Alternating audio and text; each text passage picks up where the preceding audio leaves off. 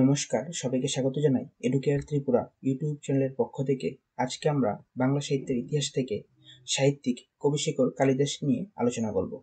এই টপিকটা ত্রিপুরা টেট ওয়ানের বাংলা সিলেবাসের মধ্যে রয়েছে। এই টপিক থেকে আজকে আমরা গুরুত্বপূর্ণ তথ্য প্লাস তিরিশটি প্রশ্নোত্তর দেখে নেব। তাহলে চলুন আজকের ভিডিওটা শুরু করি। প্রথমে আমরা জেনে নেব কালিদাস রায় কে ছিলেন। আদর্শ শিক্ষক কবিশেখর কালিদাস রায় একাধারে কবি ও শিক্ষক ছিলেন। রবীন্দ্র সমকালীন কবিরূপে তিনি মূলত পল্লী প্রকৃতির ও পল্লী জীবনের কথাই তার কবিতায় উপস্থাপন করেছেন। এক্ষেত্রে কুমুদরঞ্জন মল্লিকের সঙ্গে তার সাদৃশ্য ও বৈসাদৃশ্য বর্তমান। কবিতার স্মৃতিকথায় লিখেছেন কেবল, পল্লীর আবিষ্টনী ও পল্লীর নরনারীর আচরণই যথেষ্ট নয়, পল্লীর দৈন্যব্যথা, পাপ তাপ অনাচার, সরলতা সমস্তই আমার চিত্তকে বিচলিত করত। গ্রামের উৎসব পার্বণের মধ্যে আমি প্রাথমিক উপাদান উপকরণ পেয়েছি। নেক্সট নেক্সট কালিদাস রায়ের জন্ম ও শিক্ষা জীবন। কালিদাসের জন্ম হয় আঠারোশো উননব্বই সালে বাইশ জুন বর্ধমান জেলার কৌরই গ্রামে। তার পিতা যোগেন্দ্রনাথ রায় কাশিমবাজার রাজ এস্টেটের কর্মচারী ছিলেন। চৈতন্যদেবের জীবনীকার লোচন দাস ঠাকুর ছিলেন তার পূর্বপুরুষ। মুর্শিদাবাদ জেলার বহরমপুর শহরে কালিদাসের শৈশব জীবন কেটেছিল। কাশিমবাজার আশুতোষ চতুষ্পাটিতে সংস্কৃত শেখেন এবং পরে কাশিমবাজারের খাগড়া লন্ডন মিশন স্কুলে অধ্যয়ন করেন। বহরমপুর কৃষ্ণনাথ কলেজ থেকে উনিশশো দশ সালে বিএ পাশ করেন। স্কটিশ চার্চ কলেজে দর্শনশাস্ত্রে এম এ অধ্যয়ন করেন, কিন্তু চূড়ান্ত পরীক্ষায় অংশগ্রহণ করার আগেই পেশাগত জীবনে তিনি প্রবেশ করেন। ওনার মার নাম ছিল রাজবেলা দেবী। নেক্সট, কর্মজীবন।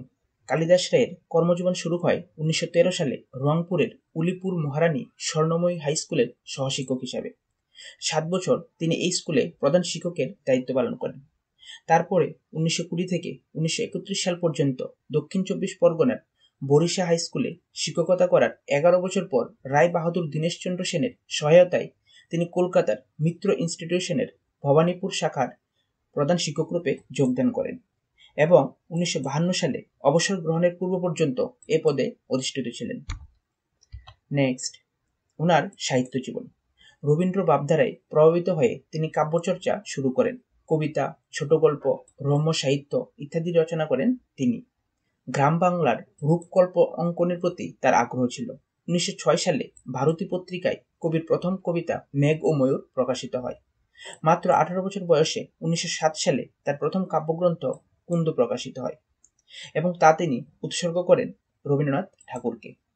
তার মোট প্রকাশিত কাব্যগ্রন্থ উনিশটি, তন্মধ্যে আছে নেক্সট পেজ কুন্দ উনিশশো সাত সালে প্রকাশিত হয়, ঋতুমঙ্গল উনিশশো দশ সালে প্রকাশিত হয়, কিশলয় উনিশশো এগারো সালে, পর্ণপুট এর দুটি খণ্ড ছিল, প্রথম খণ্ড উনিশশো চোদ্দ সালে, আর দ্বিতীয় খণ্ড উনিশশো একুশ সালে প্রকাশিত হয়।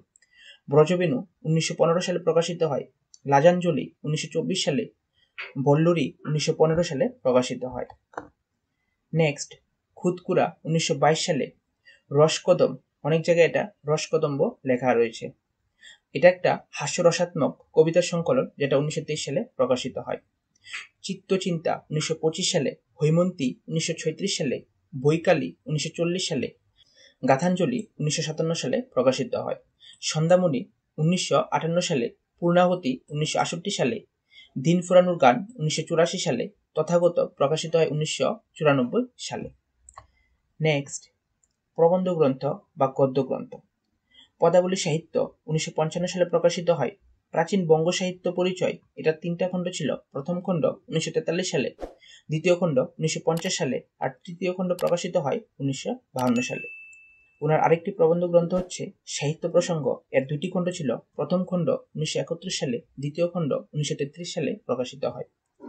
প্রাচীন বঙ্গ সাহিত্য দুটি খণ্ডে প্রকাশিত হয় উনিশশো তেতাল্লিশ সালে। শরৎ সাহিত্য দুটি খণ্ডে প্রকাশিত হয় উনিশশো ঊনপঞ্চাশ সালে। চনক সংহিতা উনিশশো একষট্টি সালে। চালচিত্র উনিশশো একষট্টি সালে। রঙ্গচিত্র উনিশশো তেষট্টি সালে। শরৎ সাহিত্য উনিশশো পঁচাত্তর সালে প্রকাশিত হয়। এগুলো হচ্ছে ওনার সব প্রবন্ধ গ্রন্থ বা গদ্য গ্রন্থ। নেক্সট কালিদাস রায়ের শিশু সাহিত্য। গাথাঞ্জলি উনিশশো একষট্টি সালে প্রকাশিত হয়। গাথা কাহিনী উনিশশো সালে। তৃণদল উনিশশো সত্তর সালে। গাথামঞ্জরি উনিশশো সালে। মনীষী বন্দনা উনিশশো ছিয়াত্তর সালে। গাথাবলী উনিশশো সালে প্রকাশিত হয়। কালিদাস রায় সাহিত্য জীবনে কি কি সম্মান পেয়েছেন? কালিদাস রায় তার সারা জীবনের কৃতিত্বের জন্য বহু সম্মাননা লাভ করেছেন। উনিশশো কুড়ি সালে রংপুর সাহিত্য পরিষদ তাকে সাহিত্য অবদানের জন্য কবি শখের উপাধিতে ভূষিত করেন।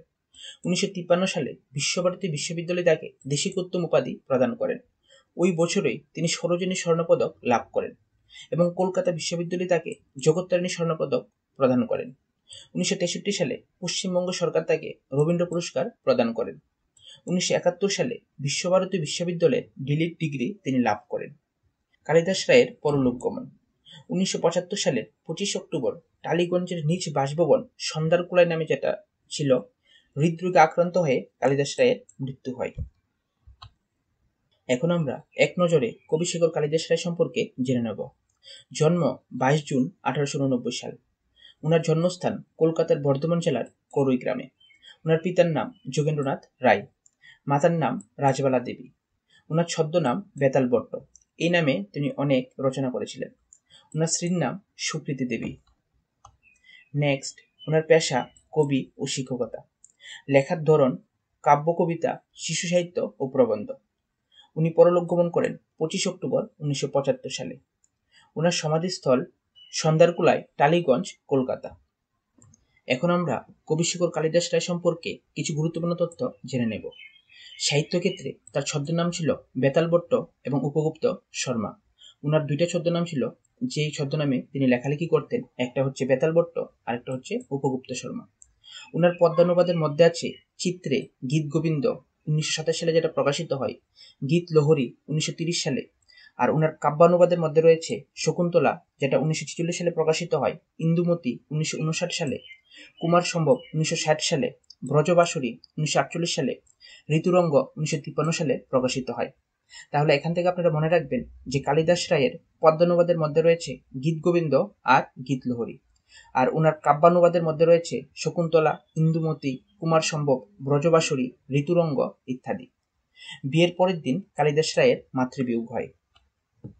নেক্সট প্রমথনাথ বিশি তার কবিতার সমালোচনায় জানিয়েছেন কবিশেখর পাঠ্যপুস্তকের কবি নন বাংলা কাব্যের একটি চিরন্তন ধারাশ্রয়ী এ যুগের একজন মেজর বা প্রধান কবি। রবীন্দ্র প্রভাব সত্ত্বেও তিনি চিরকাল নিজ স্বতন্ত্র রক্ষা করতে সক্ষম হয়েছেন। তার কবিতার প্রধান বিশেষত্ব হল পল্লীগ্রামের পরিবেশ রচনা, বৈষ্ণব কাব্য সংস্কারকে রূপায়ণ করা এবং গার্হস্থ জীবনরসকে উপস্থাপন করা। তার রাঙ্গাচুরি কবিতায় সে গার্হস্থ জীবনরস পরিবেশিত হয়েছে। উনিশশো বারো সালে ডালটনগঞ্জের ডিস্ট্রিক্ট ইঞ্জিনিয়ার ভূপেন্দ্রচন্দ্র মালিকের মেয়ে সুকৃতি দেবীকে তিনি বিবাহ করেন। নেক্সট। উনিশশো সাত সালে বহরমপুর কলেজে পড়াকালীন কালিদাস রায়ের প্রথম কাব্যগ্রন্থ কুন্দ প্রকাশিত হয়, যেটি তিনি রবীন্দ্রনাথ ঠাকুরকে উৎসর্গ করেন। উনিশশো উনষাট সালে দিল্লিতে সাধারণতন্ত্র দিবসে আকাশবাণী আয়োজিত সর্বভারতীয় কবি সম্মেলনে বাংলার হয়ে প্রতিনিধিত্ব করেছিলেন কালিদাস রায়। ব্রজবুলি ভাষায় লেখা তার বিখ্যাত কবিতা বৃন্দাবন অন্ধকার, যেটি তাকে কবি হিসেবে প্রথম জনপ্রিয়তা এনে দেয়। এই কবিতাটি তিনি উলিপুরে থাকাকালীন রচনা করেছিলেন। নেক্সট উলিপুরে থাকাকালীন তিনি চারটি কাব্যগ্রন্থ রচনা করেন যার মধ্যে উনিশশো সালে তিনি পর্ণপুট প্রথম রচনা করেন যা তার শ্রেষ্ঠ কাব্যগুলির মধ্যে অন্যতম। পর্ণপুট কাব্যগ্রন্থের দুইটা খণ্ড ছিল। প্রথম খণ্ডটা উনি উনিশশো চোদ্দ সালে উলিপুরে থাকাকালীন রচনা করেছিলেন। কালিদাস ছোটবেলা থেকেই বৈষ্ণব ধর্ম দ্বারা প্রভাবিত ছিলেন। নেক্সট উনিশশো পনেরো সালে মহারাজা মনীন্দ্রচন্দ্রের অর্থানুকূল্যে ব্রজবিনু প্রকাশিত হয়। উনিশশো ষোলো সালে ঋতুমঙ্গল প্রকাশিত হয় প্রকৃতি ও প্রেমমূলক কবিতার সংগ্রহ নিয়ে। নেক্সট উনিশশো তেরো সালে কাশিমবাজার রাজবাড়ির সাহিত্য সভায় কালিদাস প্রথম রবীন্দ্রনাথের দর্শন পান। রবীন্দ্রনাথের উপদেশ অনুসারেই তিনি অনুবাদমূলক কাব্য রচনায় হাত দেন। সেখানেই রবীন্দ্রনাথের উপদেশ অনুসারে পরবর্তীতে তিনি অনুবাদমূলক রচনায় হাত পাকান। যার মধ্যে উল্লেখযোগ্য মহাকবি কালিদাসের শকুন্তলা, কুমার সম্ভব এবং মেঘদূতের সংস্কৃত থেকে বাংলায় অনুবাদ। এখন আমরা প্রশ্নোত্তরে কালিদাস রায় সম্পর্কে জেনে নেব। কোশ্চেন নাম্বার ওয়ান কবি শেখর হিসেবে কোন কবি পরিচিত? Answer Kalidas Roy. Question number two পদাবলী সাহিত্য প্রবন্ধ গ্রন্থটির রচয়িতাকে answer Kalidas Roy. Question number three Kalidas Roy পেশায় একজন কি ছিলেন? আনসার শিক্ষক ছিলেন। Question number four Kalidas Roy কার বংশধর ছিলেন? আনসার কালিদাস রায় লোচন দাস ঠাকুরের বংশধর ছিলেন। Next question question number five Kalidas Roy কোথায় জন্মগ্রহণ করেন? আনসার বর্ধমান জেলার করুই গ্রামে। কোশ্চেন নাম্বার সিক্স কালিদাস রায়ের পিতার নাম কি? আনসার যোগেন্দ্রনাথ রায়, কালিদাস রায়ের পিতার নাম। কোশ্চেন নাম্বার সেভেন কালিদাস রায়ের মাতার নাম কি? আনসার রাজবালা দেবী হচ্ছে কালিদাস রায়ের মাতার নাম। কোশ্চেন নাম্বার এইট কালিদাস রায়ের ছদ্মনাম কি? আনসার বেতাল ভট্ট, কালিদাস রায়ের ছদ্মনাম ওনার আরেকটা ছদ্মনাম রয়েছে, এটা আপনারা কমেন্ট করে আমাকে জানাবেন, এটা আমি প্রথম স্লাইডগুলিতেই বলেছিলাম। Next question number nine Kalidas রায়ের প্রথম প্রকাশিত কাব্যগ্রন্থ কোনটি? আনসার কুন্দ, যেটা উনিশশো সাত সালে প্রকাশিত হয়। কোশ্চেন নাম্বার টেন কালিদাস রায়কে কে কবিশেখর উপাধি প্রদান করেছিলেন? Answer Rangpur Sahitya Parishad. Question number eleven Kalidas Roy কবে জন্মগ্রহণ করেন? আনসার আঠারোশো উননব্বই খ্রিস্টাব্দের বাইশ জুন কালিদাস রায় জন্মগ্রহণ করেছিলেন। Question number twelve Kalidas Roy কবে মৃত্যুবরণ করেন? আনসার উনিশশো পঁচাত্তর সালের পঁচিশ অক্টোবর কালিদাস রায়ের মৃত্যু হয়। Next question question number thirteen Kalidas Roy কোথায় মৃত্যুবরণ করেন? আনসার কলকাতার টালিগঞ্জের সন্ধ্যারকুলায় ওনার নিজ বাসভবনে উনি মৃত্যুবরণ করেন। কোশ্চেন নাম্বার ফোরটিন কোন বিশ্ববিদ্যালয় কালিদাস রায়কে দেশিকুত্তম উপাধি প্রদান করেছিলেন? আনসার বিশ্বভারতী বিশ্ববিদ্যালয়।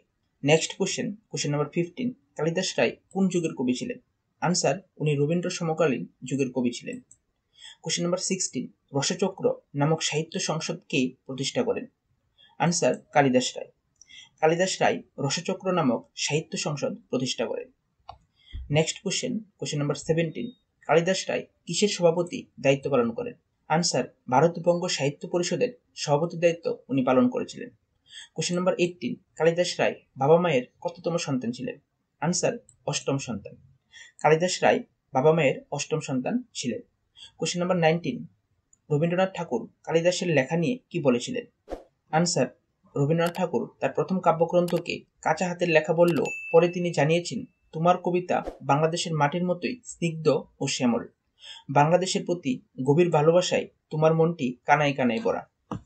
Next question question number twenty Kalidas Roy মোট কয়টি কাব্যগ্রন্থ রচনা করেছিলেন? আনসার উনিশটি। কোশ্চেন নাম্বার টোয়েন্টি ওয়ান উনিশশো ছয় সালে ভারতী পত্রিকায় কালিদাস রায়ের কোন কবিতা প্রকাশিত হয়?